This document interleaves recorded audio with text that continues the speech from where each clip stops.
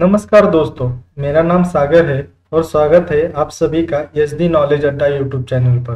दोस्तों, आज के इस वीडियो में आपको बताऊँगा कि किस तरह से आप गूगल डॉक्यूमेंट में इमेज इंसर्ट कर सकते हैं।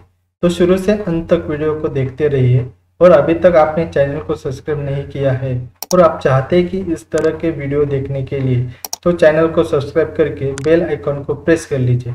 तो चलिए वीडियो को स्टार्ट करते हैं अपने कंप्यूटर स्क्रीन पर। तो चलिए वीडियो को स्टार्ट करते हैं। यहाँ पे आपको जहाँ पे भी चाहिए, आप वहाँ पे इमेज इंसर्ट कर सकते हैं।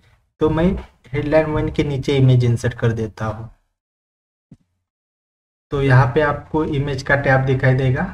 उस पर आपको अपलोड फॉर्म कंप्यूटर से भी आप इमेज कर सकते हैं। सर्च द वेब से भी आप ऑनलाइन भी इमेज अपलोड कर सकते हैं। ड्राइव से भी इमेज अपलोड कर सकते हैं। फ़ोटो से भी इमेज अपलोड कर सकते हैं।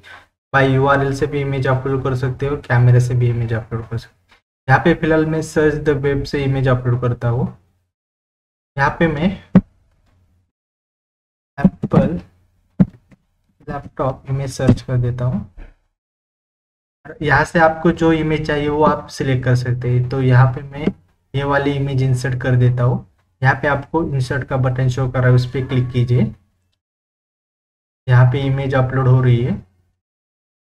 तो उसके बाद आप इमेज का साइज़ भी छोटा कर सकते हैं। आपको जितना रिक्वायर्ड है, उतना ही रख सकते हैं आप। यहाँ से मैं अभी इमेज का साइज़ छोटा कर रहा हूँ। यहाँ देखिए। ओके आपको और कम या ज़्यादा करना है तो आप कर सकते हैं। यहाँ पे आप ज़्यादा किया, यहाँ पे मैंने थोड़ा कम किया। उसके बाद आप इन लाइन में इमेज ला सकते हैं। प्रैप टेक्स्ट में इमेज ला सकते हैं। ब्रेक टेक्स्ट भी कर सकते हैं। बिहाइंड टेक्स्ट इमेज ला सकते हैं। और इन फ्रंट ऑफ़ टेक्स्ट यहाँ पे भी इमेज ला सकते इसमें एडवांस ऑप्शन भी है size and rotation adjustment all image options ये सब हम बाद में देखेंगे।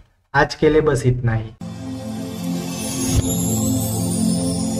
तो ये वीडियो आपको कैसा लगा, नीचे कमेंट करके बताइए।